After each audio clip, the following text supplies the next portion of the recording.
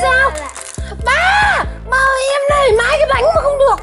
Thôi để cho em bé nhường em em chia. Hai cái mà hai cái bánh này nhá. Nhà sản xuất làm ra bằng nhau được chia cái nào to hơn đâu. Đâu xem nào. Con nào con nào con nào. Đưa qua xem nào. Hai cái này bằng nhau làm gì có cái nào to hơn?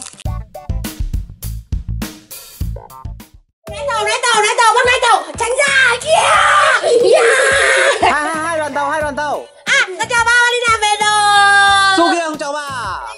Đây bà qua hai cái này đây. Hai cái, cái bánh quẩy này qua nào. Ồ ba anh ngon thế? Này con lớn đưa cho em trước để em chia. À, con lớn rồi để em chia. Không Ba ba bảo con lớn đâu con hắn bé mà. À, con nhìn em con nhìn con này nào con to gấp mấy lần em. Đấy chỉ là về hình thức thôi chứ bà ờ Hai cái bánh nó bằng nhau là còn phải à, so xem cái nào to hơn. Em nhìn xem hai cái giống hệt nhau rồi làm sao phải so? Được, cái này. Ăn thôi Sao? Ba Ba ơi em này mãi cái bánh mà không được. Thôi để cho em bé nhường em em chia. Hai cái mà hai cái bánh này nhá.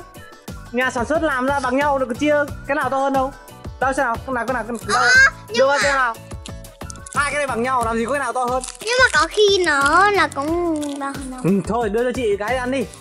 Đây là bánh chị em hả ba? ừ bánh chị em ấy. Ăn đây ăn đi ừ, cái nào cho giống cái nào? Ăn luôn. Ôi ba ơi Xinh chưa này giống hệt cái bên ngoài luôn ba này. Ăn xong xoắn quẩy luôn. Trời ơi ăn trong xoắn quẩy con không dám ăn nữa. Ngon không? Ừ ngon ba ơi. Đường à Mật ong ạ. Mật ong à Vâng ạ. Nó ngon đấy su ăn đi con Cái tóc à có Ờ, cái mỗi tóc con nhỉ? có mỗi cái bánh và cái chanh nhau. Ồ. Ba cái của chị ngắn hơn. Ăn không bắt người nào vứt rác Ba ơi thằng em vứt rác còn mà. Thôi ăn đi nhá ba đi ra đi uh, sang bên uh, hàng xóm có việc tí đây. Vâng ạ. Không ăn đâu. Không ăn đâu. Ồ. Xin chào tất cả các bạn. Các bạn xem ủng hộ mình và subscribe cho mình nhé